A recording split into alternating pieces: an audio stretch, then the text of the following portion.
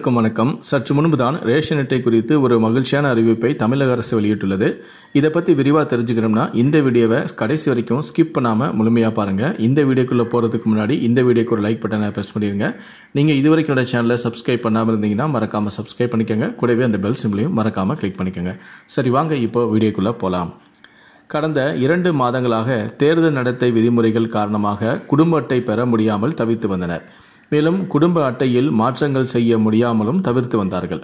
தேர்தலால் நிறுத்தி வைக்கப்பட்ட புதிய ரேஷன் ஸ்மார்ட் கார்டுகள் வழங்கும் பணியானது இன்று முதல் மீண்டும் தொடங்குகிறது. இதன் காரணமாக இரண்டு லட்சத்தி இருபத்தி நான்காயிரம் பேருக்கு புதிய ரேஷன் கார்டு கிடைக்க வாய்ப்புள்ளதாக அரசு வட்டாரங்களும் தெரிவிக்கின்றன.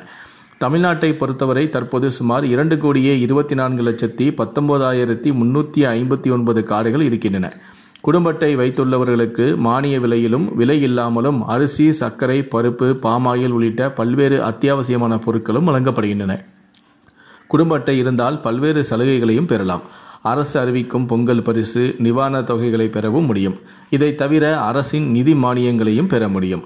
ரேஷன் கார்டு வைத்துள்ளவர்களுக்கு மட்டுமே மகளிர் உரிமைத் தொகை வழங்கப்படுவதாக அறிவிக்கப்பட்டதால் புதிய கார்டுக்கு விண்ணப்ப விண்ணப்பிப்பவர்களின் எண்ணிக்கையும் கடந்த ஆண்டை விட இந்த ஆண்டு அதிகமாகி உள்ளது அதாவது ஒரே குடும்பத்தில் இருக்கும் மாமியார் மருமகள் இருவருமே மகளிர் உரிமை தொகை பெற வேண்டும் என்பதற்காக ஒரே வீட்டில் இருந்தாலும் கூட புதிய கார்டுகளை விண்ணப்பிக்க தொடங்கியுள்ளனர். ஆனால் தேர்தல் நடத்தை விதிமுறைகள் காரணமாக குடும்ப அட்டை அவர்களுக்கு கிடைக்காமல் இருந்தது. இந்த நிலையில்தான் புதிய ரேஷன் அட்டைக்கு இன்று முதல் ஜூன் ஐந்தாம் தேதி முதல் எளிதாக விண்ணப்பித்து பெற்றுக்கொள்ளலாம் என அறிவிக்கப்பட்டுள்ளது.